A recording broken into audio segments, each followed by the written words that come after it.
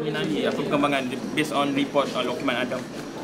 Oh, dalam kes yang berkenaan siasatan uh, telah kami jalankan yang siasatan yang dijalankan oleh MACC adalah berkaitan dengan report uh, berhubung dengan akaun yang dinyatakan dalam aduan oleh Dr. Lemah Adam ya.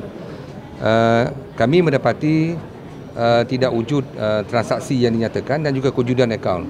Malah pihak uh, UEM dan pihak Maybank juga uh, publicly telah uh, membuat kenyataan berhubung dengan perkara itu.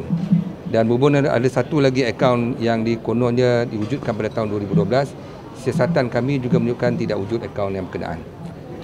Siasatan tak, tak, tak ada ya Tok Sri? Ya, ya. So Dr. Sri memang tak takkan panggil individu mana-mana individu untuk siasatan Of course, kita dalam siasatan kita akan panggil individu. Tapi tak boleh saya nak ceritakan siapa kami panggil lah. Itu proses siasatan yang kalau saya ceritakan akan menjejaskan uh, saksi-saksi berkenaan. Tapi trust us lah that we call witnesses.